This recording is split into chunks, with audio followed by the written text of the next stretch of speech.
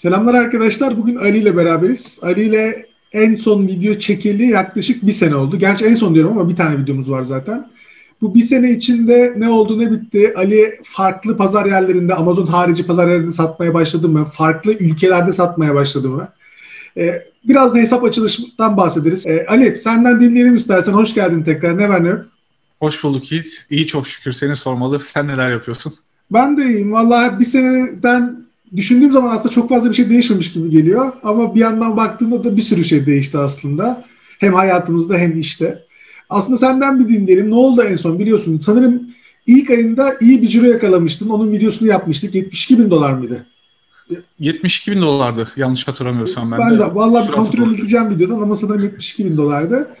Ee, şimdi ne oldu? Farklı pazar yerlerinde satış yaptığını biliyorum. Senin videolarını ben de izliyorum. İşte e, Avustralya olsun, Singapur olsun, Uzak Doğu Amazon tarafında. Aynı zamanda farklı kanallara yöneldiğini biliyorum. Amazon dışı diğer e, pazar yerlerine. E, bir senden dinleyelim. Nasıl gidiyor? Neler değişti bir sene içinde? Şimdi senin en son görüştükten sonra biz daha çok ağırlık verdik private label iş modeline. Arbitraj iş modelini de yapıyorduk ama onu biraz kenara ittik. Çünkü kendi markamızı yarattığımızdan dolayı ona biraz daha zaman ayırman gerekiyordu aslında. Sen daha iyi bilirsin. Hatta çok iyi bilirsin bu konuları. Daha sonra Amerika'da belirli bir seviyeye geldikten sonra stok yetiştirememeye başladık. Klasik out of stock zamanı. Zaten o videoda da devamlı konuştuğumuz konu buydu. Nitekim ürün daha çok talep görmeye başladı. Yani biraz cam ürün olduğundan dolayı biraz tehlike arz ediyor. Biz kategoriye daha çok yoğunlaştık. Ürünü geliştirmeye çalıştık. Bir takım yeniliklere gittik. Nitekim dördüncü çeyrekte inanılmaz faydasını gördük.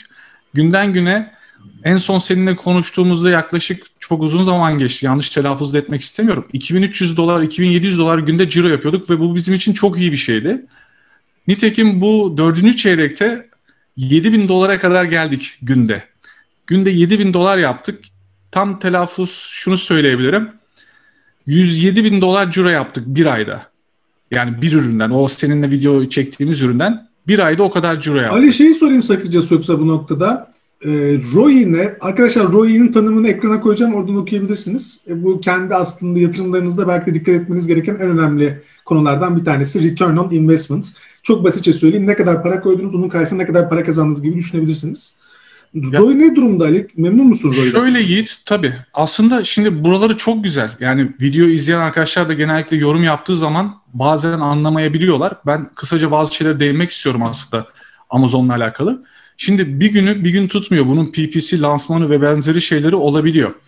Biz bu üründe Amazon bize bir takım kısıtlamalar getirdi. Yani kısıtlamalardan kastım ne olabilir? PPC olarak engelledi bizi. PPC yapamıyoruz. Lansman yapamıyoruz. Çok zorlandı ilk zamanlar. Katalogtan da kaldırdı. Can biliyor bu konuları hatta. Amazon'la görüşmemiz neticesinde hepsini tek tek düzelttirdik ama PPC'yi aştıramadık. Hatta üründen vazgeçmeye kadar gitmiştim. En son dedik, herhalde karlılık düştü biraz diye anlıyorum değil mi? Çünkü PPC, tabii, tabii. yani şöyle de bahsedeyim şimdi yeni izleyen arkadaşlar kafası karışabilir bir noktada. Şimdi bir üründe arkadaşlar PPC reklam bildiğiniz aslında pay per click ama şöyle bir şey var. Sizin reklamdan sattığınız satışlar da aslında organik sıralamanızı etki ettiği için bir üründe reklam olmaması aslında organik görünürlüğüne de zarar verebiliyor. Şimdi Ali'ye soracağım aslında yani sizde böyle bir problemle mi PPC'nin olmaması organik sıralamanıza da mı negatif olarak etki etti? O da hani bir yere vazgeçmeyi değerlendirdik diyorsun ya oradaki faktörlerden biri mi oldu? Şimdi şöyle Amazon bizim listeyi komple katalogtan kaldırınca hiç ulaşamadık. O köpekler bile çıkmıyordu listeye girdiğimizde. Yani soğuk sular düş yani çıkmaya başladı birden. Abartmıyorum ama günde 6-7 saatimizi ayırıyorduk listeyi açtırmak için. Daha sonra açtırdık listeyi. Amazon Amazon'la görüştüğümüzde daha doğrusu şöyle dedi. Yeni bir güncelleme getirdik politikada. Bu yüzden ürününüzle alakalı artık maalesef PPC yapamayacaksınız. İşte öyle deyince o karara gittim ben de. Ama sonra dedim ki ya 700 yoruma kadar gelmişsin Ali devam et. Çok yatırım yapmışsın. Devam edelim. Ondan sonra çok yüklü lansman yapmaya başladık Yiğit. Yani örnek veriyorum 50, 60, 70 tane dağıtıyorsak 150 taneye çıktık. Yani maliyeti bize daha çok arttı o zamanlar ama tek inancımız vardı bir daha asla out of stock olmamak. Çünkü bu sefer tekrar renklenmesi için çok maliyet gerekecekti PPC'de yapamadığımız için. Bir daha şu zamana kadar bir daha hiç out of stock olmadık. Sen bizim videodan sonra bir daha out of stock oldun mu? Bir kere daha oldum çünkü o Amazon kapattığından dolayı. Listeyi kapattı. Birden satışlar bir hızlandı. Ben de anlayamadım ne olacağını. Vazgeçeyim mi geçmeyeyim mi derken öyle stok out kaldım. Bir ay falan sürdü. Ondan sonra toparlamaya başladım. Yani Amazon listeyi kapattı. Sen o sırada yeni ürün açılacak mı açılmayacak mı belli değil. Belki de stokta az ürün kalmıştı. Yeni ürün gönderimini yapmadın doğal olarak. Açıldı. Tabii. Satışlar artınca açıldıktan sonra out of stock oldun. Bunu aslında hatırlıyorsan seninle olan videomuzda da konuşmuştuk. Bu stok yönetimini yapmak çok zor bir şey. Yani özellikle ürününüzü şimdi Çin'de ürettiriyorsanız ya da ya da şöyle söyleyeyim. Ürünün depoya ulaşmasıyla, satışa çıkmasıyla sizin tedarik etmeniz arasında bir süre geçiyorsa bu stok yönetimini yapmak gerçekten çok zor ve maliyetli bir şey. Sonrasında şimdi aslında konuş burada şuradan gelmişti. Ben ROI'yi sormuştum.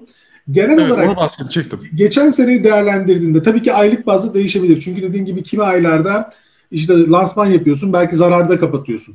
İşte kimi aylarda depo maliyetin belki artıyor. Çünkü satış yapamıyorsun işte listen kapanmış vesaire. Geçen sene toplu baktığında nasıl bir resim görüyorsun? En son baktığımda %177 idi. Yani en son hesaplamaları yaptığımızda. Çünkü PPC de olmadığı için artık inanılmaz kar elde ettiriyor bize. Hele ki dördüncü çeyrekte bununla ilgili hatta YouTube'a video çekmiştim. Fiyatla oynadığımız takdirde talep çok yüksek olduğu için bir üründen 40 dolar 45 dolar kar elde edebiliyoruz. Ama bizim en kötü zamanlarımızda minimum renklenmesi adına 7 dolar kar elde ettiğimiz de oluyor ki bu çok iyi bir şey. Zarar Renklenme dediğimiz ay- sıralama kazanması arkadaşlar. Tabii sıralama kazanması için. PPC yapamadığımız için Yiğit artık bu tür şeyler yapabiliyoruz. Yani e, bunun gizli saklısı bir şey yok. Ayda veya iki ayda bir biraz rank, ranking yaparak sıralama kazandırarak ürene istediğimiz keywordlerde iyi yere gelmeyi olanak olarak görüyoruz kendimize. Çünkü Tabii PPC ki. olmadığı takdirde zorlanıyoruz bazen. Yorum desteği de yani yorumun yıldızına da etki ediyordur. Çünkü öyle ya da böyle yani mesela çok basit bir şey örnek vereyim. Şimdi geçen gün biz bir tane bisiklet aldık evet. Burası biliyorsun çok soğuk hava. Şu anda eksi 20'lerde. Ve dışarıda yürüyüş yapmak falan çok zor. Dedik biraz daha hareket edelim. İyice soğudu bu aralar. Bisiklet aldık. Eşim de benim sürekli Amazon'dan alışveriş yapar. Şimdi bisiklet geç geldi. Amazon geç gönderdi. Bilmesine rağmen gitmiş şeye bisikletin listesine Fiona bir yıldız vermiş. Ya diyorum ki neden bisiklete bir yıldız veriyorsun? Adamın günahı yok ki. Amazon gönderiyor.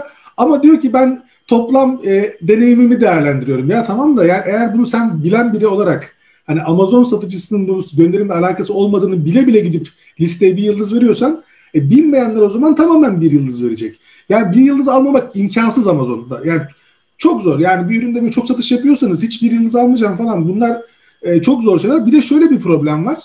Fiona'nın e, şey her ürüne her şeyi biz Amazon'dan alıyoruz. Ben hiç almıyorum. O her şeyi Amazon'dan alıyor. Ben alışveriş yapmayı sevmiyorum. Yani Amazon'a karşı düşmanlığım yok tabii de. Ve o yüzden ama e, Fiona'nın yorumlama sırası diye bir şey var Amazon'da. Yorumcu sırası diye bir şey var. Reviewer rank. Çok yüksek. Ve işte iyi yazıyor böyle detaylı resimde vesaire seviyor öyle şeyleri. E şimdi bir de öyle birisi gelip ürün listesine bir yıldız verdiğinde onun verdiği bir yıldız 100 tane belki 5 yıldızı götürüyor. Yani götürüyor derken çok ciddi anlamda ortalamaya katkıda bulunuyor.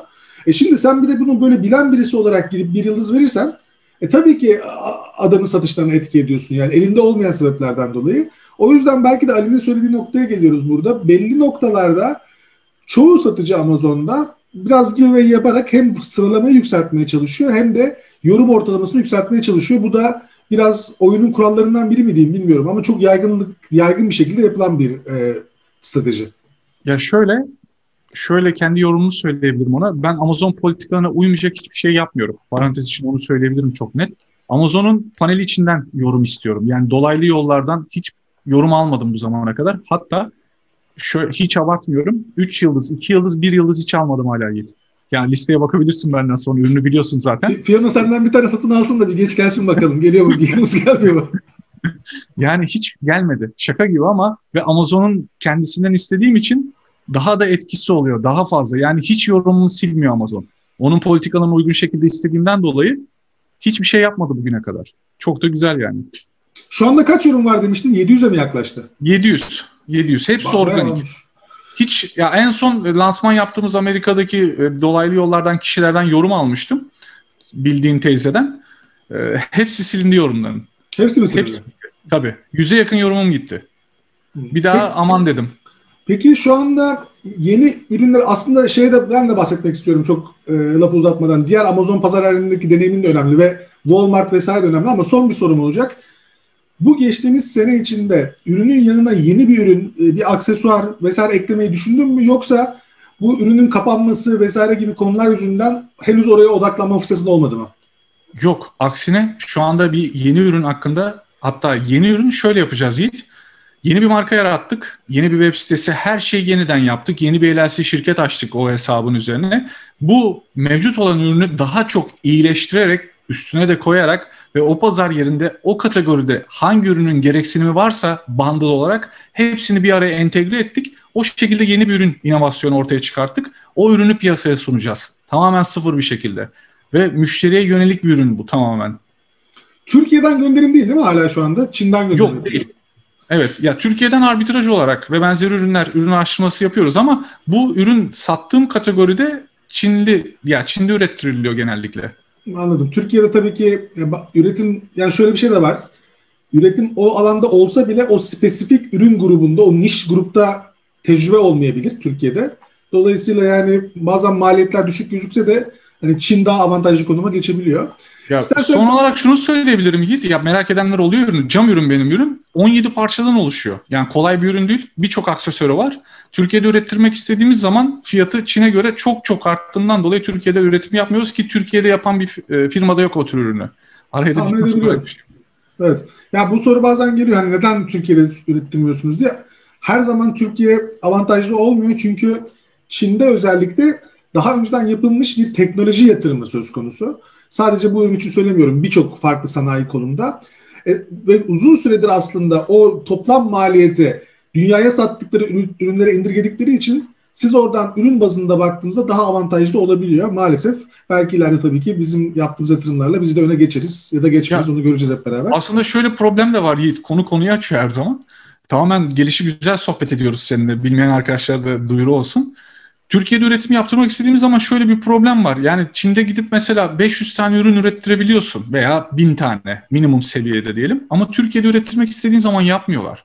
Yani e, çok yüklü mal çekmen gerekiyor. Biraz da bundan dolayı kaybediyoruz biz. Ya bir de şöyle bir şey de var. Ee, Amazon tarafında hep benim okuduğum konulardan bir tanesi Türkiye'de üretim yapan arkadaşlar da özellikle ürünlerin barkodlaması, kutulaması, Amazon standartlarına göre kutulanması vesaire konusunda çok problem yaşadıklarını da söylüyorlar. Yani Çin'de zaten üreticiler buna çok aşikar oldukları için sen şey dediğin zaman bana ürünün iş kutusunun die gönder. İşte bu e, çizgiler nerede ne olacak resim, yazılar vesaire. Biliyor zaten çünkü daha önce 100 kişi istemiş ondan. Belki 1000 kişi istemiş. O çalışmayı yapmışlar. Şimdi Türkiye'de tabii ki üreticiler doğal olarak bunları da çok e, alışkın olmadığı için ortaya böyle sorunlar da çıkabiliyor. Ama bunlar tabii ki yani şu anda Amazon şurada dedi Türkiye'de popüler olması belki 5 senelik bir şey belki daha yakın. Zamanla muhtemelen aşılacaktır. İstersen e, uzatmadan hemen sana şeyi sorayım, heyecanlı kısmı sorayım. Şimdi Amazon Amerika'yı zaten daha önce de konuşmuştuk. Orayı bırakalım. Dediğim gibi senin videolardan görüyorum. Arap Emirlikleri, Avustralya, Singapur, e, artık bilmiyorum belki Brezilya vesaire de düşünüyorsundur. Avrupa'daki Amazonlar. Farklı e, pazar yerleri, işte Walmart, Etsy vesaire. Buralardaki senin çalışmaların nasıl gidiyor? Şimdi şöyle, e, biz Amazon Amerika'yı fethettikten sonra diyelim daha güzel olur. Çünkü her şey istediğimiz gibi gitti.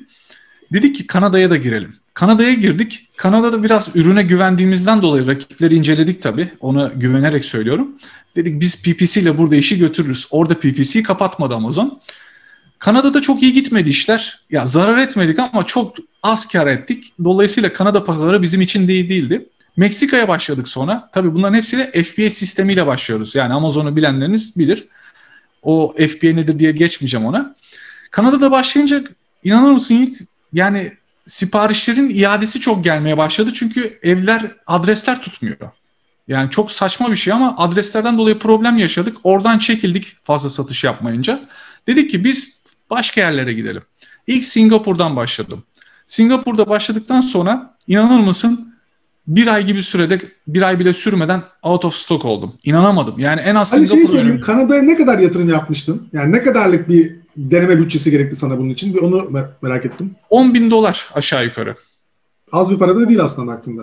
Ya şöyle e, şimdi seviye büyüdükçe aldığın riskler de büyüyor Yiğit. Yani zarar etmedik ama e, lansman çalışması ve benzeri biraz daha yoğunlaşsaydık halbuki ilerleyebilirdi ama Kanada ve Amerika'daki aynı süreye denk geldi. Yani biz Amerika'da out of stock olduk ve PPC'mizi kapatınca Kanada'ya biraz yoğunlaştık. Orada listeyi açtırmaya çalışınca biraz demotive olunca biraz sekteye uğradık. Tam yoğunlaşamadık. Lansmanda yapmak istemeyince öyle kaldı açıkçası. Yani uğraşmak istemedik. Soğumuştuk ya, o. Bu konuda ya abi bana da bazen böyle çok tepki geliyor. Şimdi hani bir private level'a ne kadar gerekir hesaplaması yaptığımızda vesaire. İşte diyorlar ki ya Yiğit yok artık 15 bin dolar diyorsun 10 bin dolar diyorsun. sen bunun ne kadar para ettiğini biliyor musun Türkiye'de? İşte sen Türkiye'yi unutmuşsun Kanada'da olduğun için falan gibi böyle işler geliyor da arkadaşlar. Şimdi bunun Türkiye'de ne kadar para ettiğiyle pek bir alakası yok. Dolar yarın öbür gün Allah korusun 20 TL de olabilir. Ya da çok iyi gidebilir işler 2 TL'ye 1 TL de olabilir değil mi? Bunların hepsi aslında düşük ya da yüksek olasılık dahilinde. Ama bu Amerika'daki adamın hayatını değiştirmiyor. Bu Türkiye'deki durum. Yani şimdi dolar 1.2 TL iken dolar 2 TL iken 10 bin TL 10 bin dolar neyse bizde 7-8 TL olduğunda Amerika'daki adam için gene o. Yani orada da tabii ki enflasyon var vesaire ama bizdeki gibi bir dalgalanma olmadığı için yani buna Amerika'nındaki alıcının gözüyle bakmalısınız. E, tabii ki Türkiye'de dolar kuru 8 olduğunda ya da 7 olduğunda bu çok oynaklık gösterecek. Ama bu bizim elimizde olan bir şey değil. Yani o yüzden dolar kuru arttığı zaman biz bu işin yapılabilirlik sermayesine kendimiz aşağıya çekemeyiz. E çünkü Amerikalı adam bunu dolarla alacak. Hani burada bana bazen tepki geliyor ama ya bir yandan da hayatın gerçekleri bu. Ne yapayım şey diye dolar kuru arttı diye ben 10 bin dolar gerekiyorsa yok artık şimdi de size 3 bin dolar gerekiyor diyemem ki 10 bin dolar gerekiyorsa bizde dolar kuru artsa da 10 bin dolar gerekecek yani. ne yapabiliriz ki bu konuda Ya private label'da tabii e, do- gerekiyor biraz bütçe. Yani zaten senin her zaman söylediğin ben de söylüyorum artık ama maalesef manipüle edilebiliyor bu tür şeyler. Amazon'un içine girdikçe açıkçası halbuki o konuştuğumuz miktarlar daha çok artıyor. Bu sefer ürünün satıldığını ve kapasiteyi görünce ya diyorsun ki ben 20 bin dolar değil 100 bin dolarlık mal çekeyim. Nakit akışı gerekecek, stok gerekiyor çünkü. Bir de bak evet. gelen yorumlarda şey falan vardı böyle. Ee, işte sen kendine, siz kendinize rakip istemiyorsunuz falan. Ya arkadaşlar Amazon'da siz satmışsınız, satmamışsınız. Bana yani öyle iki kişinin gelmesiyle ne bileyim 200 kişinin gelmesiyle zaten rakip olunacak bir ortam yok orada da. Benim burada anlatmaya çalıştığım şey gerçekten ne kadar sermaye gerektiğini. Ama zaten e, Amazon tarafında biliyorsun artık çok içerik üretmiyorum. Yani çünkü Amazon'daki birazcık bakış açısı değişti. İlk başlayanlarla sonradan e, maalesef yani bu işte 100 dolarım var 100 dolarla 1000 dolar kazanabilir miyim bakış açısı ve oradan kaynaklanan gelen bu tepkiler e, beni de zaten Amazon tarafından açıkçası birazcık e, uzaklaştırdı. Neyse biz konuya dönelim Ahmet. Şey şu e, Singapur tarafından bahsediyordun. Orada out of stock olduk demiştin. Hızlıca senden evet. bir o kısmı dinleyelim istersen. Şimdi Amazon'un belirli politikaları çerçevesinde asini ad product yaptığın takdirde otomatik asini çekiyor. Biliyorsun bunları. Şimdi biz orada direkt yorumları da çektik. Case açarak, müşteriyle konuşarak bütün yorumları aldık. Tabii Birleşik Arap Emirlikleri pazarında bu değişkenlik gösteriyor. Biz yorumların hepsini alınca bir baktık panele ne adverti- ne PPC var advertising diyorum. PPC yok. Lansman yapabileceğimiz kimse yok. Dedi ki ne olursa artık deneme yanılma. Fiyatı da biraz yüksek koyduk Amerika'ya nazara. İnanır mısın Yiğit? Hiç abartmıyorum. Tam 4 ana kategoride bestseller oldu. Yani alakasız ana kategoride bile beni bestseller yaptı. Sonra kategorileri incelemeye başlayınca meğerse rakiplerimin %70'i 80'i Amazon depolarıyla çalışmıyormuş. Amazon depolarıyla çalışmadığı zaman biz de yüklü stok gönderince otomatik bizi pushladı. Yani öyle olunca kısa sürede stoklar bitti. İnanamadık. Singapur çok acayip bir yer. Yani şöyle e, sanırım eskiden Malezya'nın bir parçasıydı ve Malezya'dan ayrıldı. Yanlış biliyor olabilirim bu arada. E, bu şöyle şeyler biliyorum hakkında. Nereden biliyorum dersiniz? Eşim benim Malezya'da çalışmış, pardon Singapur'da çalışmış e, biz tanışmadan önce uzun süreler. Mesela arabaların e, hep yeni olmasını istiyor devlet. Yani hep yeni araba kullanılıyor. İşte trafik şey yüzünden. Bu karbon emisyonu düşük olsun, hava kirlenmesin vesaire gibi. Ve aşırı derecede güvenli bir yer. Yani işte insanlar e, güven endeksinde oldukça yukarıda. İnsanlar birbirine saygılı, herkes etrafı temiz tutmaya çalışıyor vesaire. Ve alım güçleri de oldukça yüksek. Yani zengin bir memleket. E, dolayısıyla iyi bir pazar yeri olabilir. Benim açıkçası çok fazla deneyimim yok Singapur hakkında. Şeyi sorayım. Singapur gümrükleme işlemleri. Şimdi çünkü şu yüzden soruyorum. Retail arbitraj tarafında da Singapur'da sen belki kullanıyorsundur e, ne satılır retail arbitraj tarafına. Singapur tarafında çok karlı ürünler karşınıza çıkabiliyor. Gümrükleme süreçleri nasıl? Zorluk var mı Singapur'da?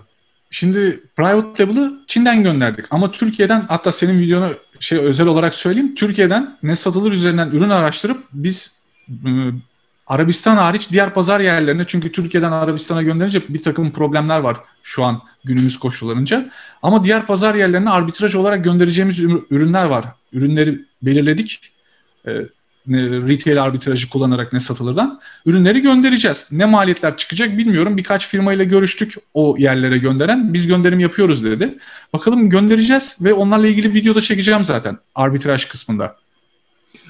Çin'den gönderdiğiniz şeyler anlıyorum biraz. Ee, Arabistan'ın şu anda gümrükleme problemi sanırım ikili devlet ilişkilerinden kaynaklanıyor gibi anladım doğru mu? Tabii tabii Türkiye'de şu an bir problem var iki ilişkilerden dolayı. Türkiye'den Arabistan'a direkt gönderemiyorsun ama biz şöyle bir şey düşünüyoruz şu an onun için. O pazar da çok kıymetli ve açıkçası sen de bir video yapmışsın. Ben onu da izledim. Kesinlikle doğru. Hatta videonun sonunda ona, ona değiniriz. İnanılmaz karlı pazar. Yani lüks almayı ve benzeri şeyleri sevdikleri için şu an mesela videoya gelmeden önce bakayım dedim satışlara. 9 tane satış vardı. Ya yani bir üründen 47 dolar falan net kar bırakıyor her şey çıktığında. Senin private label üründen mi bahsediyoruz? Tabii tabii, tabii tabii private label. Yani diğer denediğimiz birkaç arbitraj ürün de var ama Türkiye'den gönderemiyoruz onları. Onun için şu an bir çalışma yaptık. Şöyle yapacağız. Avustralya'ya göndereceğiz oradaki depolara. Oradaki depolardan direkt Arabistan'a göndereceğiz. Türkiye'nin probleminden dolayı böyle bir takım gelişmeler yapıyoruz.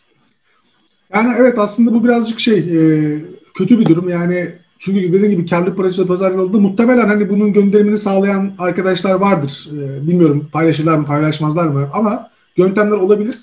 Fakat şu anda dediğini anladım. Yani ikili ilişkiler yüzünden gümrüklerde çünkü haberlerde ben açıkçası çok politika ile e, ilgilenmediğim için yani burada da televizyon vesaire de seyretmiyorum işte internetten gördüğüm kadarıyla. E, işte Türk ürün, Türk ürünleri boykot vesaire gibi şeyler bunlar Arap Birliklerinde mi oluyordu? E, evet. Ya bize de nakliye firması söyledi. Yani biz de göndermeye hazırlanmıştık tam olarak. Böyle bir şey söyleyince biz de kaldık. Hiçbir şey yapamadık. Yani evet. çıkış yolu aradık. Belki şu an kaldırmış olabilirler. En son biz bir buçuk hafta önce baktık.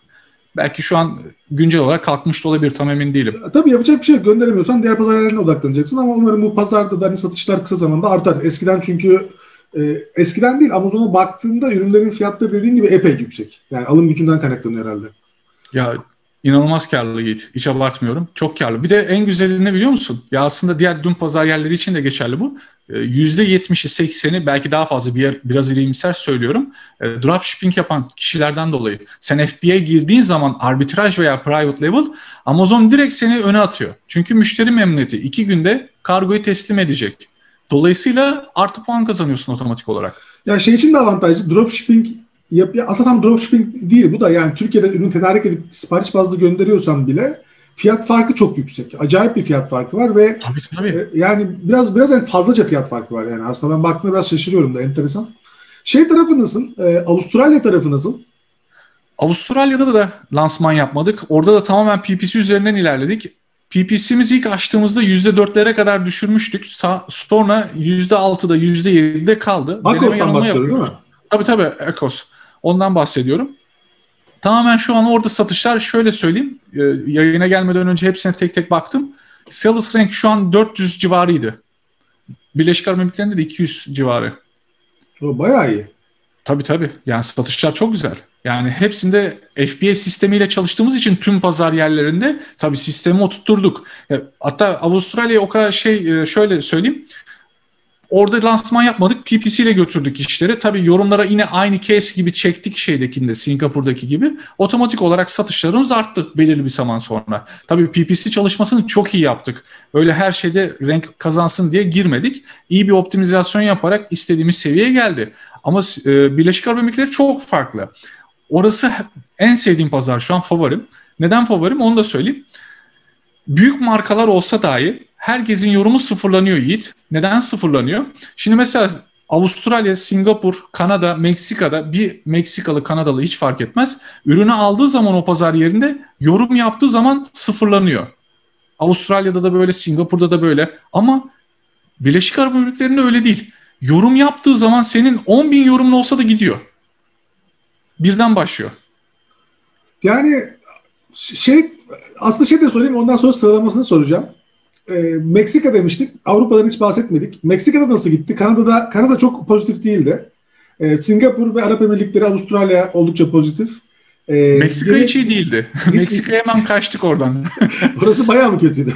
ya çok e, iade çok gelmeye başlayınca ya müşteriden ya ürünle alakalı değil aslında. Evde bulunamıyor. Birçok kez biz de iptal ettik. Yani şey Türkiye'deki gibi adresler öyle söyleyeyim daha kolay anlaşılabilir. Hmm, Uyuşmuyor. Problem yaşıyoruz çok. Hep iadede gelince ya gidiş gelişim maliyetli oluyor. Ondan sonra hemen kaçtık oradan. Orada ne kadar bir sermaye deneme yapmıştın? Orada fazla yapmadık. 1500-2000 dolar. Avrupa'dan bahsedelim kısaca. Avrupa'da var mı hedefler ya da satış? Avrupa'da yapmadık ama e, Avrupa'da şöyle bir şey gelişme yaşadık. Bizim ürüne talip olan kişiler oldu. Yani devamlı benim Amerika'da işbirliği yaptığım kişiler var. Dolaylı yollardan bulmuşlar beni. Üründe anlatmışlar. Onlar ürüne talip oldu ama göndermede sıkıntı yaşadık. Çünkü ben VAT için başvuru yaptım. VAT için desem. Ama henüz elime gelmedi. Türk şirketiyle VAT için başvuru yapmıştık Amazon üzerinden. Gelmeyince biz de dolaylı yollardan nasıl satabiliriz, o pazar yerlerinde de yer almak istiyoruz deyince ama yapamadık. Yarım kaldı şu an. Amerika'da açmış olduğumuz LLC şirket üzerinden şu an VAT alacağız. O Avrupa'da da en kısa zamanda satışa başlayacağız. Çünkü Amazon bize her gün bildirim gönderiyor. Gel Almanya'da da sat diye.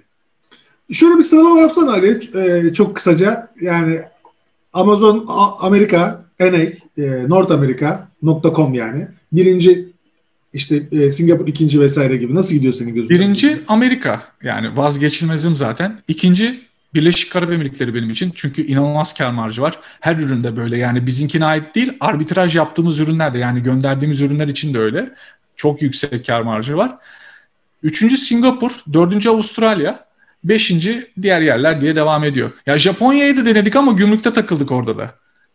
Ha Japonya'yı sormadım bak. Japonya'da e, şeyi falan biliyorum. İnsanların, kullanıcıların böyle e, kullanım kılavuzunda çok dikkat ettiği, ufak hatalarından bile ürünü iade edebildiği vesaire gibi. Oradaki deneyimiz nasıl oldu Japonya'da? Gümrükte takıldı ürünler. Geçmedi mi? Geçemediniz Geçmedi. Geçemedik. Geri neydi, neydi problem? Orada bir şirketin mi orada alıcı olarak gözükmesi gerekiyordu? Ya şöyle freight forwarder'la görüştüğümüz zaman sat, satmaya potansiyel ürünlerin yani arbitrajı deneyecektik biz orada ilk başta. Gönderdiğimiz ürünlerin bir takım belge gereksinimi ve e, yasaklı maddeler geçiyormuş içinde ülkeye özel. Çok da sorgulamadık. Tamam dedik geri çektik sonra. Oraya ne kadarlık bir deneme yapmıştınız maliyet olarak? 2700 dolar civarı. Yani topladığınız Ya tabii zaman... orada kalınca biz ürünleri şey yapmıyoruz Yiğit yani ima ettirmiyoruz. Tabii, tabii. Maliyeti neyse yakın en en yer neresiyse en yakın yer oraya çekiyoruz ürünleri. Yani hangi Amazon deposu varsa freight forwarder'la de aynı kişiyle çalışıyorum ben iki yıldır. E, rica ediyorum ona diyorum Amazon barkodlarını değiştir şu pazar yerine gönder. Hemen tamam diyor zaten. Alıştı. Çünkü benim de bir deneme yanılma yaptığımı bildiği için olur hiç problem değil diyor. Tabii yakabilirsin de o da olabilir. Yani gümrük imha, imha edeceğim de diyebilir. O da işin risklerinden bir tanesi yani. Ya, şöyle bir şey oldu Yiğit geçen gün. Ee, Yaşar'a da söyledim Yaşar'a. ee, ben arbitraj şey yaparken Amazon komple ürünleri katalogdan kaldırdı. Yasaklı ürün diye. Yani biraz e, yas- tehlikeli ürünler e, Arabistan için satılmayacak ürünler desem daha doğru olur. Nasıl biraz, şeyler? Açık seçik ürünler falan mı koydun? O yüzden mi? yani biraz öyle. Biraz e, şey girmeyeyim oralara da. Tamam. ya ben doruklarda olan ürün, tehlikeli şeyleri satmayı çok severim. Çünkü kar marjı çok yüksek oluyor. Biz biraz biraz gönderdik. Hepsini kaldırdı biliyor musun listeden? Yaşar dedim ya senin varsa tanıdığın ürünleri çekelim yoksa ima ettireceğiz. Kaldı öyle. Çek, çekemediniz mi? Freight Forward'dan haber bekliyorum. Şimdi sana yayından sonra soracağım merak ettim çünkü doruklarda olan ürünler falan diye anlattın ya böyle. Ben de, de bir soru ya işareti. söylerim de olmaz yani. tamam peki ben, ben sana özel olarak sorarım bunu. Ali biraz da şeyden bahsedelim istersen kısaca. Bu hesap açılış konularında hani sen çok fazla uğraştın, çok fazla kişiye destek verdin. Hala veriyor musun bilmiyorum. Ee, nasıl güncel durumlar? Benim videoların altında hala çünkü yorumlar geliyor. İşte Amazon daha geçen gün Facebook grubunda gördüm. Amazon e, artık yeni satıcı kabul etmiyor diye. Bu arkadaşlar her sene gelir. Yani ben e, bu işlerle uğraştığımdan 10 senedir, 15 senedir her sene şey muhabbeti vardır. Girin Google'a yazın. İşte Amazon yeni satıcı kabul etmiyor İngilizce. 2016 yazın, 2017 yazın, 2006 yazın, 5 yazın. Hep bu söylenti vardır. Var mı Ali böyle bir şey? Nasıl bu seneki durum? Valla Yiğit e, şu suspend konusunda yani neredeyse artık Türkiye'de Amazon'la ilgilenen herkes bizi tanıyor. Ee, şöyle söylesem daha doğru olur giriş gelişme sonuç olarak. Yani Amazon'da biz ilk başladığımızda seninle ilk videomuzda hatta iki senelik video olmuştur o video. Ben, sen bile hatırlamadın ilk başta. Ben de şimdi yeni hatırladım. Hani hesap açılışına yönelik bir video çekmiştik.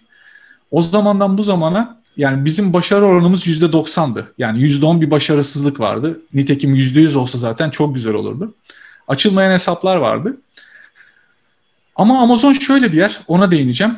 Biz ilk zamanlar açtığımızda hesapları, yani Amazon'la bizi yeni tanıyanlar geliyordu.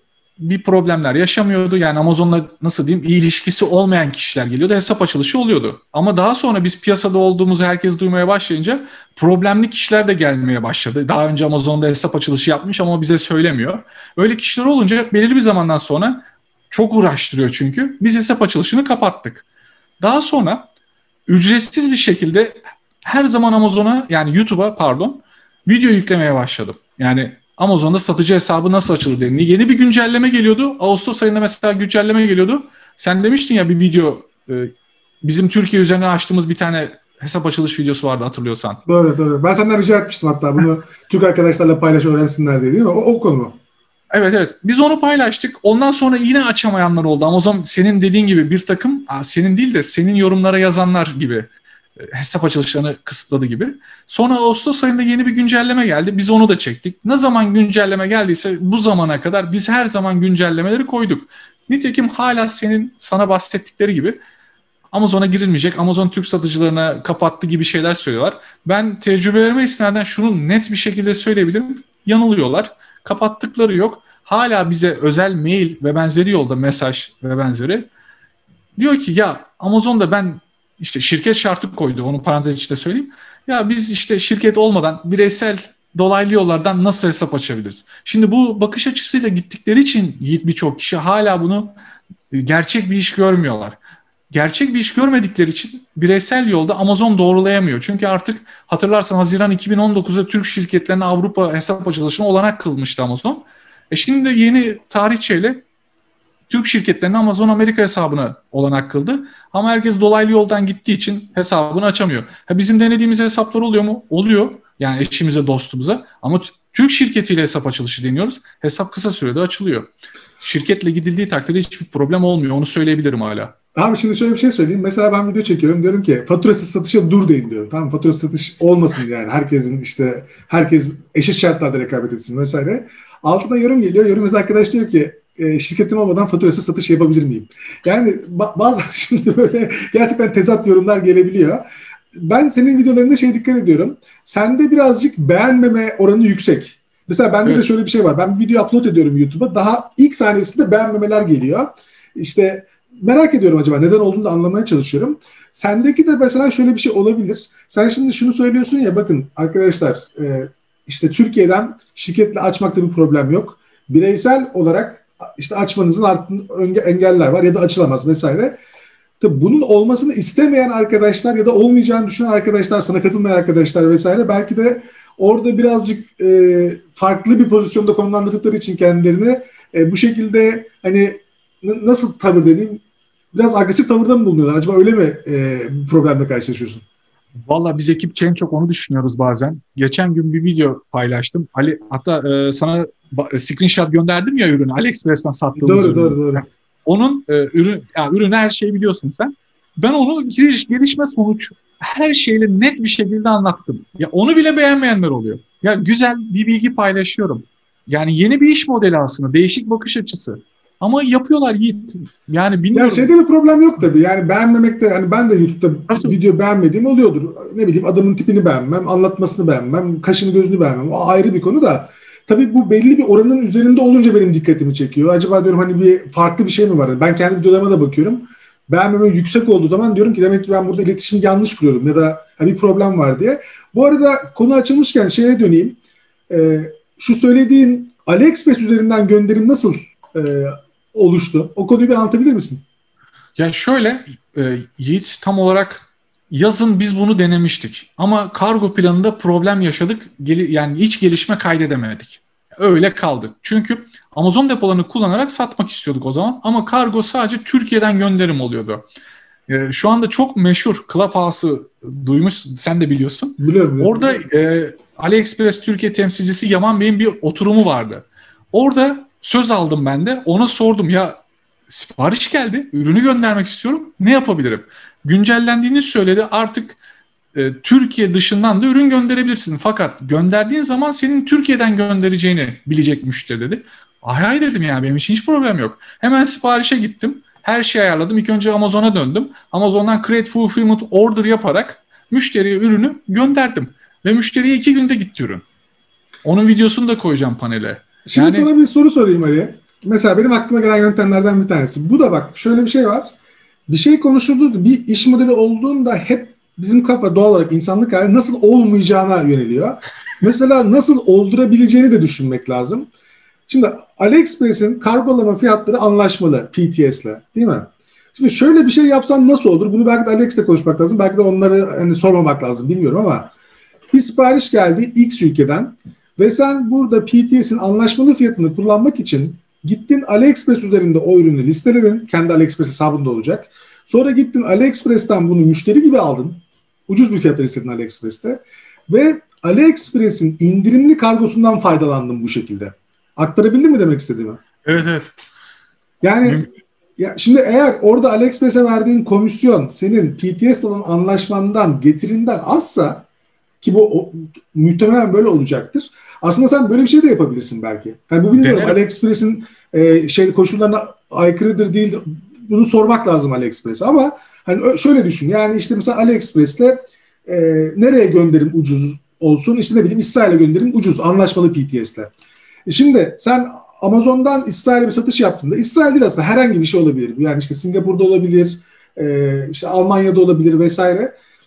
Sen sonrasında gidip aslında AliExpress ürünü satıp oradaki kodla PTS'den indirimini alıp kendin de AliExpress'teki alıcı adresine, müşterinin adresine girerek aslında kendinden ürünü karışık mı anlattım bilmiyorum ama anlatabildim sanırım değil mi? Ben aslında? anladım, ben anladım. Yani çok iyi anladım.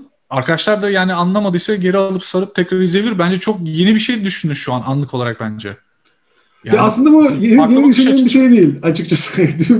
kafamda olan bir şey de. Hani şeyi de bilmiyorum. AliExpress tarafında bunun prosedürde aykırı bir yöntemi var. Yani bir anlamı var mı? Ama olmaması lazım bir yandan da ama dediğim gibi hani bir bilgim yok o tarafta. Ama teori olarak düşündüğümde bence mantıklı ya yani karlı olabilir. Yani denemek lazım, bakmak lazım. Yani aslında Yaman Bey'e sormak lazım. O zaman e, geçen akşam şey demişti. Yani bizim politikamız Amazon gibi sert değil. Yani deneme yanılma yapabilir. Atış serbest anlamına da geliyor. Aslında denenebilir. Suspend süreci çok zor. Yani anca marka ihlali yapman gerekiyor demişti. Aslında denenebilir. Niye olmaz? Ben AliExpress olsam çok hoşuma gitmeyebilirdi ama belki gidebilirdi. Çünkü neden? Aslında AliExpress üzerindeki satış hacmini de arttırıyorsun. Daha fazla ürün listelenmesini sağlıyorsun. Yani sormak lazım kendilerine. Ama hani böyle bir şey varsa neden olmasın bir yandan da? Yani ya ekstradan gelir elde etmek. Ya şöyle Yiğit o, o kısaca o videoyu fazla uzatmadan şunu söyleyebilirim. Aynı ürün Amazon'da da var ama AliExpress'in sadık müşteri kitlesi de mevcut olduğunu çok kolay görebiliyoruz. Çünkü aynı ürünü 122 e, Avustralya dolarına sattık. Orada 47 Avustralya doları. Yani normal doları Amerikan dolarına vurduğumuzda bizim elimize net 75 dolar geldi. Temiz kazanç. Bu Yok arada böyle bir şey yani şey de söylemek lazım. AliExpress Türkiye ekibi inanılmaz ya. Yani aşırı derecede e, müşterilerle, müşterilerden kastım satıcılar, satıcılarla ilgililer, her soruya cevap veriyorlar, Dink Top grupları süper aktif. Yani işte kampanyaları hatırlatıyorlar, katılmak için avantajlar sağlıyorlar, ürün yüklemelerde yönlendiriyorlar vesaire. İnanılmaz bir ekipleri var gerçekten.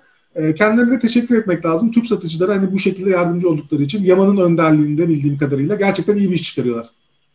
Kesinlikle. Ya ben onun eğitimlerini falan izleyeceğim. Ee, merak ediyorum. Çünkü o pazara da girmeye kesin karar verdim. Çok ya şöyle videoda değinmiştim. Yani Rusya'dan Amazon Amerika ve benzeri yerlerden hiç satış gelmiyor bize. Ama AliExpress'te inanılmaz Ruslar satış alıyor. Ben Rusya'da da yaşadığım için inceliyorum o tür konuları. İnanılmaz satış var. İnanılmaz alıyor Ruslar. Yani niye kaçıralım ki o tür müşterileri? E ihracat yapalım, e-ticareti daha çok yoğunlaştıralım. Bence öyle düşünmek gerekiyor. İsrail iyi. Arap, e, Kuzey e, Afrika ülkeleri iyi. E, son zamanlarda AliExpress'in e, sanırım yöneldiği alanlardan bir tanesi İspanya, Fransa, Portekiz ve İngiltere. İngiltere'den emin değilim ama İspanya, Fransa, Portekiz'i biliyorum. Oralarda satışlar arttı. Yani güzel bir çalışma yapıyorlar e, ve şeylerden falan da bilgilendiriyorlar. Mesela diyorlar ki bakın işte şu anda Çin yeni yıl tatili geliyor. Çin yeni yıl tatilinde biliyorsun kapatır Çinliler ulaşamazsın. Diyorlar ki mesela Çin yeni yıl tatilinde işte kampanyalara katılın. E, orada daha rekabetçi olun ki Çinliler yokken satışlarınızı arttın. Hani bu şekilde böyle pratik bilgiler de paylaşıyorlar. Şöyle söyleyeyim. Araya gireyim Yiğit. E, tam söylediğine istinaden unutmadan e, kusura bakma lafı böldüm. Yok rica ederim. E, geçen gün Yaman Bey hatta senin söylediğine istinaden tam şunu söyledi. Tam nokta atışı oldu. İnanır mısın Türkler daha fazla katılmış o Çin Yeni Yıl kampanyasına AliExpress'te. Olabilir yani iyi gerçekten şey tarafından son tekrar ettim kendimi ama e, bir de şunu da söyleyeyim yani şimdi AliExpress'te de arkadaşlar sürerli olmak lazım. Bunu hep söylüyorum şeyden ben takip ediyorum. Yani bizde kaç kullanıcı geliyor, kaçı devam ediyor diye. Kullanıcıların yaklaşık üçte biri devam ediyor. Üçte ikisi bırakıyor. Ama burada arkadaşlar biraz dişinizi sıkıp ürün yüklemeyi ve optimize etmeyi arttırmanız lazım. Yani ne satıldı zaten biz bunu ücretsiz olarak sunuyoruz biliyorsunuz. AliExpress ürün yüklemeyi. Pazar yerlerine ürün yükleme de ücretsiz diğer pazar yerlerine. Burada biraz günde bir saatinizi iki saatinizi ayırıp sürerli olarak bunu yapmanız lazım. Yani mesela şöyle şeyler geliyor. Yiğit ben 5 tane ürün yükledim, 20 tane ürün yükledim ya da satış gelmedi. Bunun bir garantisi yok arkadaşlar. Ama siz ısrarlı bir şekilde ürün yüklemeyi optimize etmeye devam ederseniz bir noktadan sonra öyle ya da böyle satışlarınız artmaması için bir sebep olmuyor. Yani şöyle fiyatınız çok yüksektir tabii ki artmaz. Ürün resmi kötüdür tabii ki artmaz. Ama ısrarlı olmak lazım. O üçte birlik alana kendinizi sokmaya çalışın. Çünkü yani satışların yüzde 60'ı, 65'i bırakıyor, devam etmiyor. Devam etmek lazım.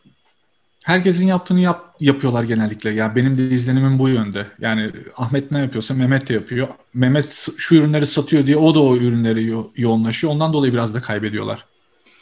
Yani o zaten biraz abi şey e, standart. Yani insanların yapacağı bir şey bu her zaman. Yani yeni bir alan çıktığında yani mesela şu anda şey çok popüler oldu ya gene işte e, bu coinler vesaire ben hiç anlamam ama şimdi bir sürü yani bu, bunu ama sanki ben dejavu yaşıyorum. Sanki iki sene önce de ben bunu yaşamıştım. Ve iki sene önce de bir sürü arkadaşım e, sanki para kaybetmişti diye hatırlıyorum. Tabii ki kazanan da vardır arasında da. Sanki yani böyle dünyada belli şeylerle e, aralıklarla aynı şey tekrarlanıyor gibi. Şimdi farklı coinlerde bir şeyler oluyor vesaire. E, senin söylediğin gibi yani bir yerde bir avantaj olduğu ortaya çıkınca bir sürü insan oraya odaklanıyor.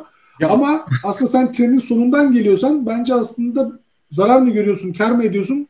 Yani oralarına iyi bakmak lazım. Ya aslında sizin AMZ çözümlerinde yani ben ilk katılanlardan biriyim. Senin ilk videolarında bahsettiğin şöyle bir şey vardı. Biraz mağazaya götüreyim seni. Kendi markanızı yaratın. Hep bunu söylerdim. Yani kendi markanız olsun, label'larınız olsun. Önünüze bakın. Şimdi şöyle, ya AliExpress'te satacaksın mesela. Ben AliExpress'te daha yeni satıcıyım. Yani profesyonel bir satıcı değilim henüz. Ama benim bakış açım şu şekilde olurdu. Rekabet mi çok? Kendi markamı yaratayım, kendi markam üzerinden AliExpress'te satış yapayım. Türkiye'de ürün ürettirebileceğimiz o kadar çok ürün yelpazesi var ki AliExpress'te satılacak. Yani ben biraz araştırdım o gün inanamadım. Yani çok inanılmaz imkanlar var. Ya biraz bakış açısını değiştirmek gerekiyor bence. Marka da yani satabilirsin. Orada da biraz şey düşünmek lazım. Yani şimdi bak şey yapacağız. Ee, biliyorsun sadece artık hani Trendyol hepsi burada vesaire değil. Bir sürü web sitesini Amazon'la kıyaslıyoruz retail arbitraj olarak. İşte bunun içinde oyuncak siteleri var, kitaplar var. Çok enteresan mesela. Bazı kitaplar var. Türkiye'de 0.01 kuruş kargo bedavaya satılıyor. Yani bilmiyorum bir hata mı var mesela bakacağım ama. Belki bir videoda anlatırım onları da. Ee, işte Tekno, Mediamarkt'tan tut Teknosa vesaire bir sürü siteyi koyduk. Ben olsam şuna da bak bakarım. Farklı olmak için. Giderim o sitelerde Amazon'la karlı olduğunu bulduğum ürünleri AliExpress'ten listelerim mesela. Tabii Çünkü, bu da farklı şey. Yani şimdi AliExpress'te biz bunu kıyaslayamıyoruz çünkü barkod sistemi yok AliExpress'te ama Amazon'la kıyaslayabiliyoruz. E, ama oradaki karlı bir ürünün AliExpress'te karlı olması da muhtemeldir diye düşünüyorum. Giderim o ürünlere öncelik veririm mesela. Yani böyle biraz dediğim gibi yani illa belki %100 diğer yola sapmanıza gerek yok. Onu da seçebilirsiniz. Ama e, birazcık kendinizi farklılaştırmanız hani sanki avantajlı olabilir. Yumurtayı tek sepete taşımasalar daha iyi olur aslında. E, tabii. İşte hem, Bunu hem demişken şeyden bahsedelim hani unutmadan. Walmart, Etsy e, başka bir şeyler var mı? İşte Home Depot vesaire. Şu an e, Walmart'ta satıyoruz. Ya e, dördüncü çeyrekten bu zamana kadar. Walmart'ta satışlar güzel. Organik bir şekilde gidiyoruz orada da. Hiç PPC lansman herhangi bir şey yapmadık. Lansman için görüştüğümüz bir takım kişiler e, lansman yaptığımızda istediğimiz seviyeye gelebileceğimizi söyledi. E, yapanlar varmış tabii. Ama deneme yapmadık çünkü zaten lansman yapmadan da ürün satılabiliyor. Aynı ürün tabii videonun başında konuştuğumuz ürün. Orada şu an satışlar iyi. Şimdi Wayfair'de başlayacağız. Wayfair'de görüşme halindeyiz. Wayfair'den sonra Etsy'ye başlayacağım. Etsy'ye de başlamayı düşünüyorum orada. Çünkü şu Clubhouse'dan hep bahsediyorum ama yani satışların çok iyi olduğunu söylüyorlar oralarda da. Yani benim bakış açım aslında Yiğit şu şöyle. Ya katma değerli mal üretip tüm dünyaya satacaksın. Yani ihracat yapacaksın. Tek bir Amazon değil.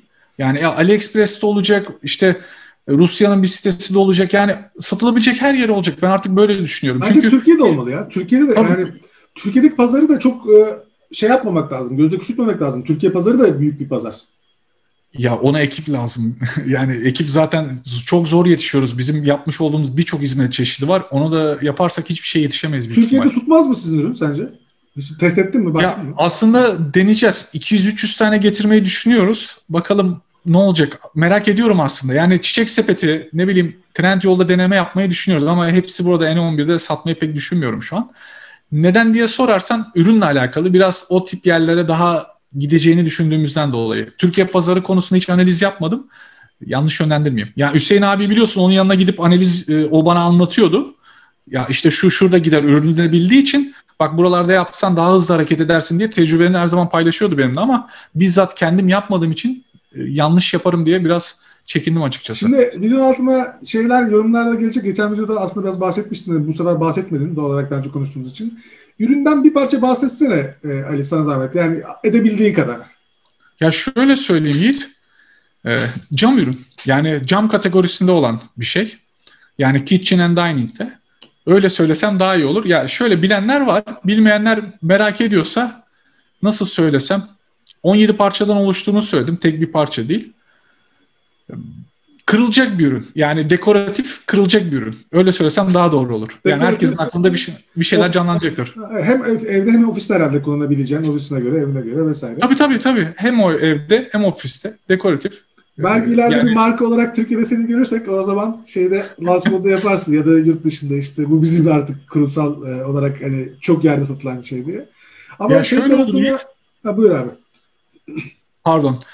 Ya gire, gireceksek Türkiye dördüncü çeyrekte gireriz. Yani bu zamanlarda ben girmeye pek düşünmem açıkçası. Çünkü dördüncü çeyreği daha çok domine ettiği için ürün dördüncü çeyrekte girmek daha doğru olacaktır diye düşünüyorum. Yani bile bile de istememek lazım. Türkiye'deki dördüncü çeyrek kampanyaları da özellikle Trendyol'un ardından böyle uçtu. Yani Trendyol inanılmaz kampanyalar yapıyor.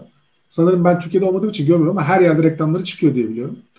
Vallahi biz kaçamıyoruz onlardan artık. Evet, Her insanlar, yerde reklamlar var. Evet yani bir yandan iyi aslında insanlar gına geldi falan diyor ama öte yandan da bu bir agresif marketing stratejisi ve işe yarıyor gerçekten. Yani o da hayatın bir gerçeği.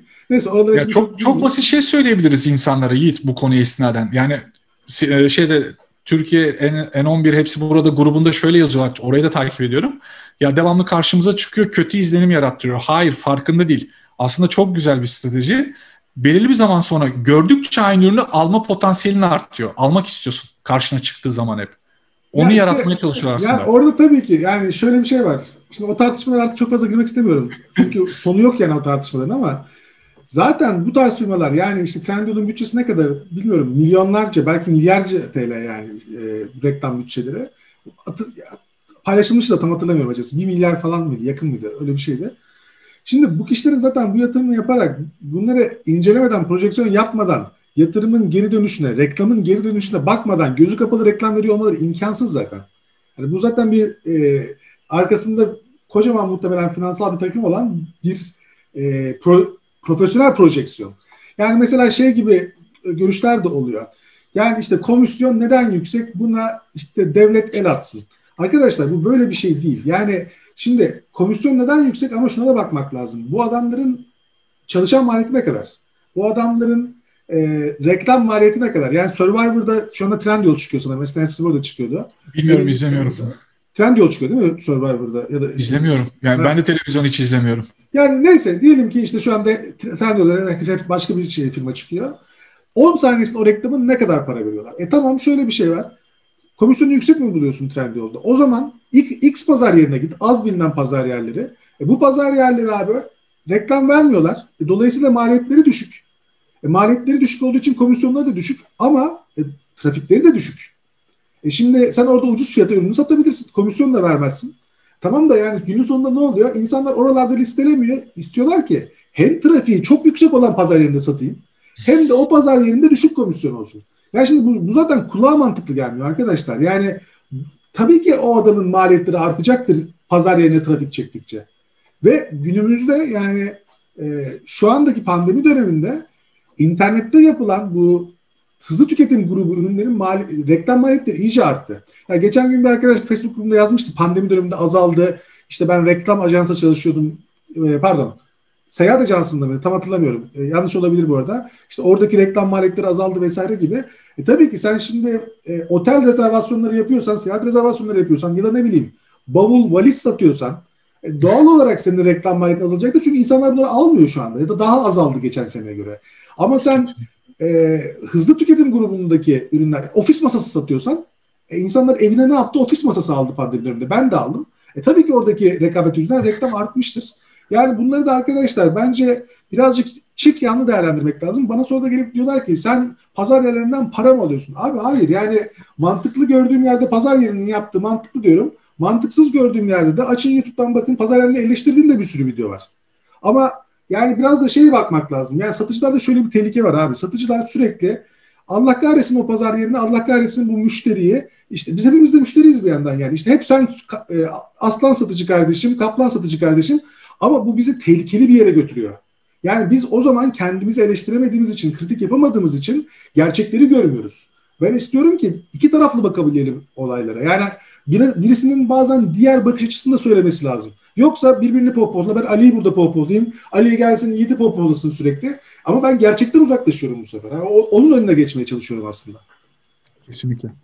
Yani sonuna kadar katılıyorum bu konuya. Yani mesela ben şuna şu konuya katılmıyorum. Senin söylediğine değil, insanların söylediğine. Beni inanılmaz eleştirebilirler konuda.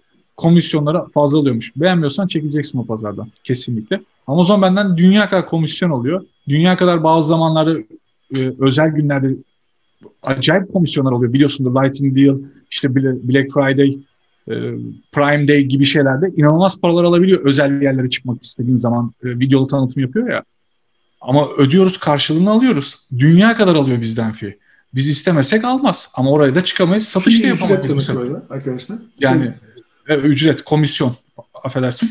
Yani komisyon inanılmaz alıyor bizden. Ama alsın. Satış yapıyoruz. Karşılığı oluyor. Biz istemesek yaralamayacağız zaten oradan. Onu yani sadece olarak... komisyon değil aslında mesela Lightning'de girerken Lightning kampanyalarına, yıldırım kampanyalarına girerken e, bir sürü şey de oluyor Şimşek kampanyalarında işte giriş bedeli de oluyor. Yani sadece yani sadece sizin o sitede gördüğünüz komisyonların değil. Şunu da söyleyeyim çok kısa abi. E, aslında bakarsan bence komisyonu beğenmiyorsan orada satma bakış açısı benimsenmemesi gereken bakış açısı. Neden dersen şimdi ben bu bardağı satıyorum tamam mı? Bu bardaktan 5 liraya mal ettim. Çok basit anlatıyorum. 5 lirada e, benim kar, net karım var. Şimdi bu bardağı ben aldım. 5 lira komisyon vesaire her şeyi ödedim ve sonunda 5 lira kazandım. Ya da komisyon çok pahalıydı. Ben bu bardağı aldım. 100 lira komisyonu vesaireye e, harcadım. 5 liraya almıştım. 105 etti. 110'a sattım. Ben gene 5 lira kazandım. Şimdi ben kafayı aradaki işlemlere takmamalıyım aslında. Ben şuna bakmalıyım. Benim ROI'm ne? Yani ben bunu ne kadar mal ettim? Toplam giderlerden sonra cebime ne kadar kaldı? İnsanlar burada şuna takılıyorlar. Pazar yeri çok kazandı. Ya bırak istiyorsa pazar yeri araya bir milyon dolar koysun. Yani gitsin bunu Amerika'daki adamın evinde gitsin birebir anlatsın adama ürünü sat, satsın ne yaparsa yapsın satsın. Ben benim üründen ne kadar kazandığıma bakmalıyım. Ama insan psikolojisi doğal olarak şeye gidiyor. Yani işte bundan kargo ne kadar kazandı, bundan pazar yeri ne kadar kazandı. O bizim işimiz değil ya. Yani isterse pazar yeri yüzde yüz bundan komisyon alsın. Bana ne abi ben üründeki ROI'me bakarım, bakmalıyım. Zaten mantık şu. O site pazar yerinde o kadar satarsın da fiyatın yüksek olur. Gene karlılığın aynıdır. X pazar yerinde de sat. Reklam yapmayan pazar yerinde. Düşük fiyattan sat orada da. Gene karlılığın fazla olsun. Eşit olsun. Yani bu komisyonlara takılmayı da çok fazla anlayamıyorum açıkçası. Belki de ben yanlış bakıyorum bilmiyorum. Ya şöyle e, kendi web sitesinden satsın Yiğit. Yani SEO'la gitsin uğraşsın. E, Google Ads reklam ya bir sürü şey yapsın. Reklamlara çıksın. Bakın maliyeti daha fazla olmayacak mı? Hadi onu da geçtim. O tür pazar yerleriyle rekabet etmek zaten imkansız. Aklına gelen şu an izleyiciler aklına gelen 5 keyword'ü ürünüyle alakalı şey e, ürünle alakalı keyword'ü tam Türkçesini hatırlayamadım şu an. Yazsın search var abi. Arattırsın bakalım kendi ürünü çıkacak mı? Yani niş bir şekilde yazsın ilk 5 taneyi sıra sıra enter'a bassın. İlk pazar yerleri çıkacaktır. Atıyorum Trendyol hepsi burada gitti gidiyor ve benzeri siteler çıkacaktır bence. İlk aklına gelen 5 keyword yazdığında. Kendisi ya bence şey de olmalı yani web sitesi de olmalı. Olmasın de, dememek yani demiyoruz zaten aslında. Olsun web sitesi ama şimdi bak hayatta şöyle gerçekler var. Bunlardan bir tanesi mesela Deloitte'un yayınladığı raporlar. Raporlarda ne diyor? Diyor ki satış sitesi azalırken e-ticaret hacmi büyüyor. E şimdi nereye gidiyor bu e-ticaret hacmi? Pazar yerlerine gidiyor. Yani sitelerde aslında çok fazla arkadaşlar e, deneyin. Yani hani böyle burada ya Yiğit sen neden siteden satmıyorsun değil. Mutlaka kendi sitenizde olsun. Satış yapmayı deneyin. Ama bize e-ticaretin gösterdiği şey trafiğin daha çok pazar yerlerine e, aktığı. Ve şöyle şeyler var. Yani mesela ben Facebook grubunda da görüyorum.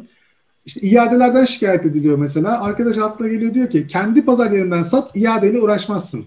Neden? Pardon kendi web sitenden sat iadeyle uğraşmazsın. Neden bunu söylüyor? Çünkü diyor ki kabul etmezsin iadeyi. Ha işte tam bu yüzden müşteri de pazar yerinden satın alıyor. Yani değil mi? Sen burada ne diyorsun aslında diğer satıcı arkadaşına? İadeyi kabul etme. Kendi web sitenden değil mi?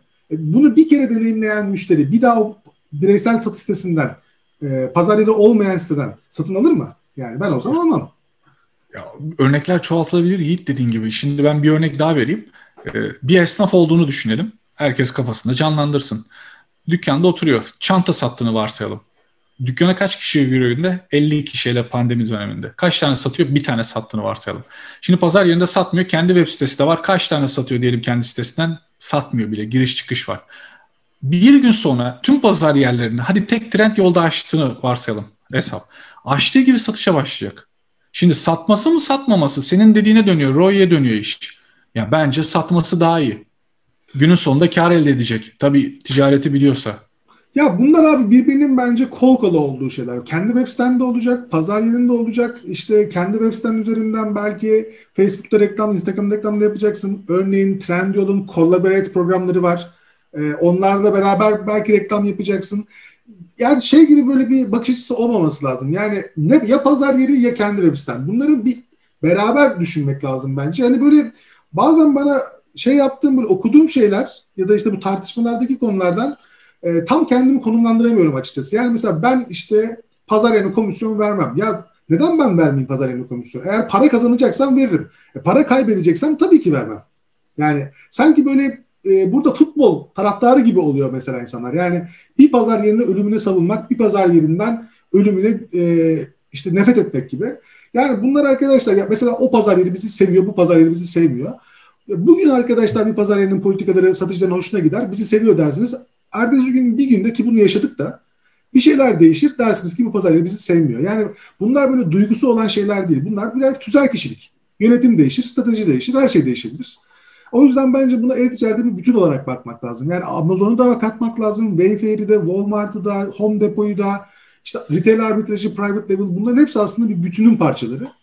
O yüzden hani böyle belli bir konuda bence fanatikleşmemek lazım. Ee, Ali çok da uzatmayayım. Sonlara doğru biraz fazla konuştum. Senin ekleyeceğin şeyler var mı?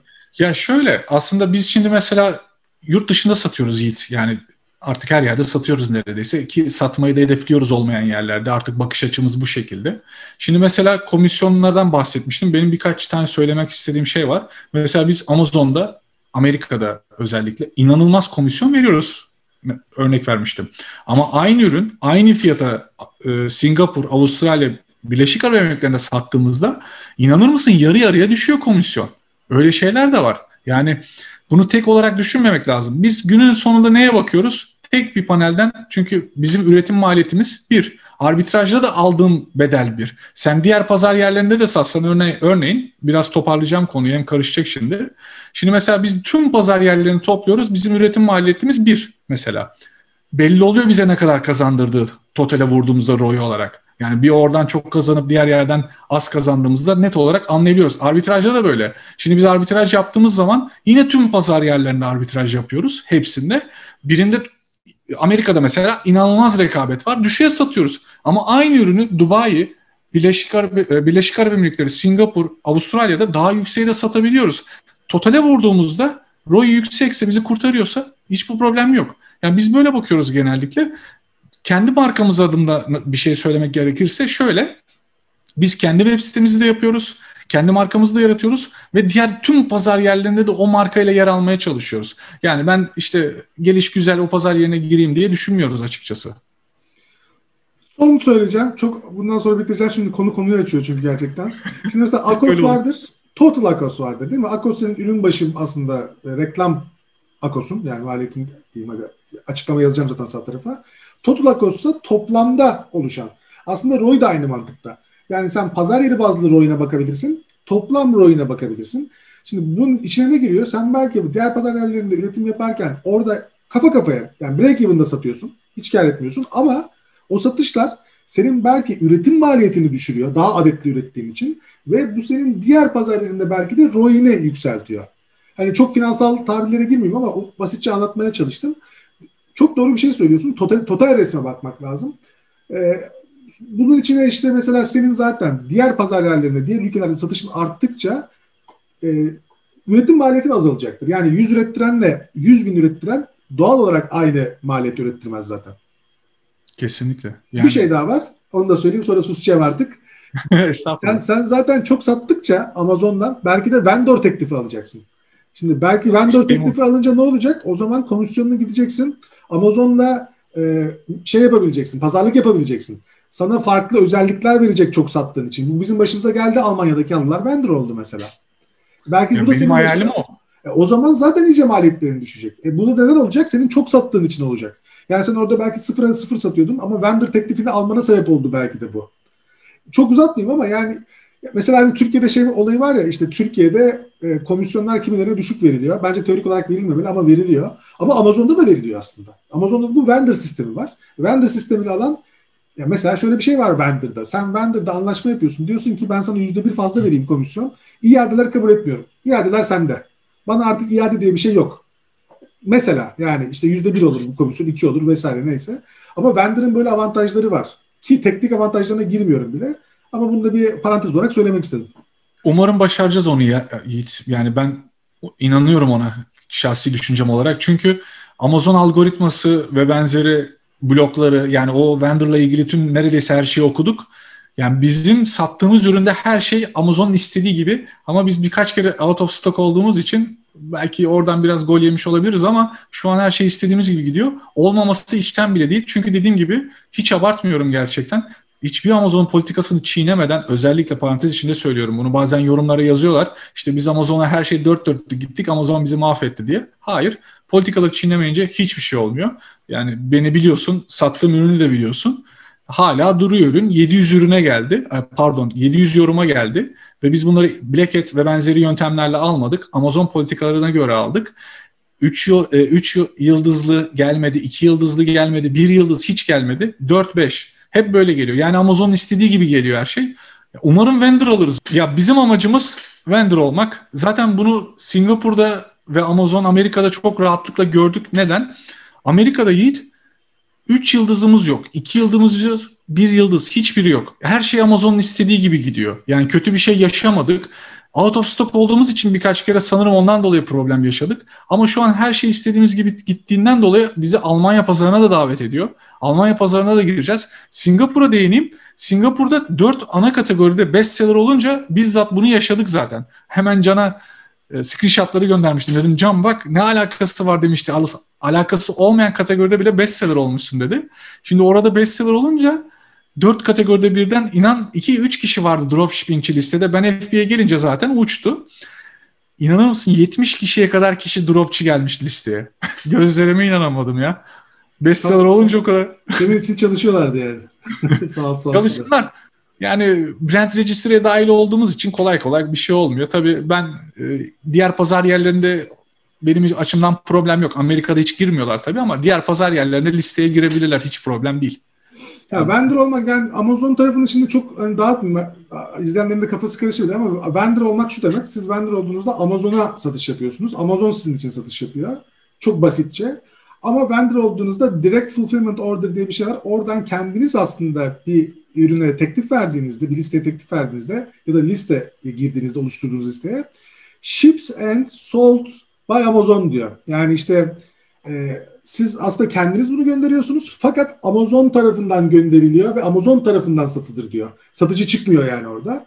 Biraz belki detaylı bir konu bilmiyorum. Amazon tarafından ben bahsetmeli de aslında çok konular birlikte. Çok bir sene olmuştur Amazon evet, tarafında evet. video yapmayalı. Ee, Ama vendor yani inanılmaz bir avantaj gerçekten sahip olanlara. Umarım siz de Ali yakında alırsınız. Ve şöyle bir güzelliği var. Hani bu da son olsun bitirelim videoyu. Türkiye'den mesela Avrupa'da vendor olanların bazılarının ürünleri anlaşması şöyle. Gidiyorlar yanılmıyorsam İzmir'de limanda ürünü bırakıyorlar. Amazon gidiyor limandan ürünü alıyor. Gidiyor işte Avrupa'da artık İtalya'da mı satıyor, Almanya'da mı satıyor neredeyse oraları kendisi dağıtıyor. Anlaşma bu kadar güzel yani. Sen ürünü Almanya'ya falan götürmekle de uğraşmıyorsun. İzmir limanında muhtemelen FOB bilmiyorum ama limanda İzmir, bırakıyorsun. Limandan Amazon alıyor. Yani şahane bir şey. Ya süper bir şey. Düşünsene Yiğit yani yapıyorsun bu işi. Sen sadece üretiyorsun. Yani olması gereken bence bu. Yani bizim birçok sempozyuma, oturuma katılıyorum. Bizim şu yaptığımız işi öcü gibi bakıyorlar biliyor musun? Aslında bu çok yanlış bir şey. Yani, yani yanlış lanse edildiğinden dolayı böyle. Olmaması gerekiyor. Çok ufak birkaç örnek vererek ben de konuyu kapatayım. Yani Türkiye'deki en büyük markalar bile yani ne olabilir tekstilde? Özdilek mesela yok. Yani belki vardır farklı brand üzerinden, marka üzerinden ama e, kendi markasıyla satması muazzam bir şey olurdu. Belki şu an aklıma ilk gelen örnek o diye verdim. Yani buradaki problemlerden bir tanesi de bence birçok firma Türkiye'de doğru e, kendisi ekip kurmuyor. Ya da e, gel abi senin ürünlerini Amazon'da satarız biz denilen hani işte ne kadar alırsınız bizden ucuz işte bir şey almayız bir satalım görelim vesaire gibi şeyler tarafından ilk deneyimlerinden ağızları yandığı için belki de devam etmiyorlar. Ee, burada yani ben büyük bir holding olsam e, kendi ekibimi de ya, en iyi danışmanlığı almaya çalışırım bir de kendi ekibimi de kurmaya çalışırım. E tabi bu da maliyetli oluyor. Yani gidin mesela Türkiye'de hani bizden falan hiç danışmanlık e, kendimizden bahsetmiyorum. Yurt dışından mesela izleyen hani holding sahibi video izler mi bilmiyorum ama diyelim ki izledi. Yurt dışından alın yani eğer kuşkunuz varsa ve iyilerinden alın. Yani sen mesela Beko gibi bir firmaysan en iyisinden alman lazım. Hani bu şeyi bunu bir bir kişi yönetemez bunu ya da ufak bir ekip yönetemez. Bu alanda profesyonel bir ekip yönetebilir. Daha ufak çaplı bir firmasındır. Yani bireysel bir danışman sana yardımcı olur ürün istelemesi vesaire. Ama aksi halde takımı olan bir yani bu işi profesyonel yapan bir öğrenmen lazım. Ee, Gene ben ufak tecrübemi söyleyeyim. ben de ufak tecrübemi söyleyeyim senin. Ama sen ilk söyle lütfen. Yok yok buyur. Ben başka bir konudan bahsedeceğim çünkü. Ya senin de bildiğin konu. Ben e, hatırlarsan 6-7 ay önce yanlış hatırlamıyorsam çok iyi biliyorsun. E, Türkiye'nin top 10'unda olan bir firma danışmanlık teklifi gelmişti bana. Seninle paylaşmıştım ilk hatta. Hatırlamışsındır büyük ihtimal. Firmanın evet, ismini vermeyelim tabii. E, anlaşamadık firmayla. Hatta kurumsal analiz yapmıştınız onu hatırlıyorsun değil mi? E, olmadı yani. Fiyattan korktular, Amazon'dan korktular. Yani ben onlara gittim sunum yaptım birkaç kere. Girmediler Amazon'a. Aslında çok detaylı de, detay vermek istemiyorum ama e, private level olarak üretmiş olduğu ürünler var Amazon'da bestseller. Biliyorsun ürünü. Ya tabii yani adamın şeyini bilemezsin. Hani içinde belki bambaşka bir sebebi vardır da bir yandan da baktığında e, ona yatırım yapacak olan şey de herkeste yok. Vizyon da herkeste yok. Yani kafada bunun çünkü oturması zor bir şey. Ben ürünlerimi göndereceğim de Amazon depolayacak da kendi kendine satacak. Yani bu dünyanın içinden değilsen hani buraya adapte olman da psikolojik olarak zor olabilir hiç bilmiyorsan. Yani hiç bilmeyen biri bu videoyu izliyorsa bizim konuştuklarımızın %50'sini anlamaz. Yani aptal olduğu için değil. E, temelde bilmiyor çünkü. Öğrenecek zamanla. Ama sen şimdi bunu biz gittik bir e, kurumsal firmaya sunum yaptık. Eğer kurumsal firmada o birikim yoksa onu anlamayacaktır yani doğal olarak anlamayacaktır. Ama şunu da söyleyeyim en son. E, Türkiye yanılmıyorsam tüm Amazon supplier'ların yani tedarikçilerinin yüzde ikisi Türkiye'den. E, en son sanırım Cengiz Katun yaptı raporda. Ve tüm e, Kuzey Amerika, Kuzey e, Amerika Amazon için, Amazon.com için konuşuyorum. Ve gene tüm satıcıların .com'daki Türkiye yüzde birine sahip. Ki bu bayağı büyük bir rakam. E, yanılmıyorsam tedarikçilerde Almanya'da yüzde iki. Yani şimdi resmi koyacağım oradan bakarsınız. Türkiye'deki Amazon tarafındaki yükseliş her ne kadar eleştirsek de bir yandan da ciddi. Yani e, tedarikçilerin tüm Amazon'daki ürünlerin e, tespit edilen, takip edilenlerin yüzde ikisinin Türkiye'den gönderiliyor olması, üretililiyor olması çok büyük bir rakam. Tüm satıcıların yüzde birinin Türkiye'de olması da çok büyük bir rakam. Aslına bakarsan bir yandan da büyüme hızlı. Kesinlikle. Yani herkes yer almalı. Zaten gelecek oraya gidiyor. E, kişi kendini ona göre geliştirmeli bence. Yani Amazon dediğim gibi sadece Amazon değil belki işte Etsy, Wayfair, işte Home Depot vesaire, Trendyol hepsi burada N11 gitti gidiyor her biri için bence bu geçerli. Ya tabii tek Amazon değil. Yani kalıbının dışına çıkmak lazım. Senin hep söylediğin tabiri caizse çemberin dışından bakmak gerekiyor. Yani e, benim hiç aklıma gelmezdi AliExpress'te satmak. Ne bileyim e, Walmart, Wayfair ve ben e, Etsy hiç düşünmezdim. Bana Amazon Amerika sadece yeter derdim. Ama işte işin içine girdiğin girdiğin takdirde bakış açın da değişiyor. Kendini de geliştiriyorsun. Yani senin en son bir sene önceki yaptığımız söyleşiyle şu anki Ali arasında inanılmaz dağlar kadar fark var. O zamanki Ali diğer pazar yerlerini ve başka markaları düşünmüyordu. Ama şu anki Ali mesela tüm pazar yer, ya tek Amazon değil bütün e-ticaret platformunu ve hem arbitraj hem private level olarak daha fazla satış ne kadar satış o kadar gelir demek aslında. Ki bu yapılabiliyor. Ya bir zamanlar Amazon'da satmayı da düşünmüyordun öyle düşün. O da yok. E, tabii yani. tabii tabii. Yani hep düşünüyorum yani, yani bana bana da hep soruyorlar genellikle Yiğit yani nereden esti? Neden başladın? Yani çıkış noktan neydi? Yani aslında yani o çok farklı bir olay. Onu anlatsak zaten çok zaman alır da e, sadece insan hayalini götürdüğü yere gitsin yani kendi inansın. Doğru yolu mutlaka bulacaktır bence. Tabii ki doğru yolu bulurken arkadaşlar batabilirsiniz de. O da o da bir şey. Tabii o da var. o da hayatın yani, şey yani. Ya ben de küçük bir dipnot söyleyeyim. Yani benim de e, kötü anılarım yok mu Amazon'da? Var tabii. Ürünün işte katalogdan kaldırması, zarar etmemiz gibi şeyler. Mesela Abi o benim... sıkıntıyı bilmez miyim? Yani bir üründe o köpekleri gördüğün zaman ya da işte seninki gibi katalogdan köpekler de çıkmıyor dedin gerçi. İnsanın böyle... Bundan soğuk, soğuk terler akıyor valla. Evet, ciğerine böyle şey oturuyormuş gibi oluyor. Yani 200 kilo ağırlık koyuyormuş gibi oluyor. Benim geçtiğimiz seneler boyunca kaç kere başıma geldi. Ürünler gitti, kategorileri değiştirildi, o oldu, bu oldu. Kötü rakiplerle biliyorsun bizim kendi kaşınmamızdan dolayı olan şeyler de başımıza geldi. Yani o hep böyle sıkıntı yani bu iş. Hani şey tarafı da var işin. Şimdi hani tamam kendi şirketin olsun güzel para kazan vesaire ama sen beyaz yakalı mavi yakalı çalıştığın zaman da sorumlulukların bir yere kadar. Şimdi burada her yaptığının sorumluluğu direkt görüyorsun şeyine e, etkisine. E, şimdi bir de kötü yanı da var böyle. Neyse çok uzatmayayım yani. Bunlardan başka zamanda bahsederiz detaylı olarak ama benim, her benim şey tabii ki dostlar değil. Benim Amazon'a girdiğimde şöyle bir anım vardı. Seninle ilk yaptığımız videoda ta hatırlarsın. Ben o zamanlar Birleşik Arap Emirlikleri'nde de arbitraj yapıyordum. Çok eski video.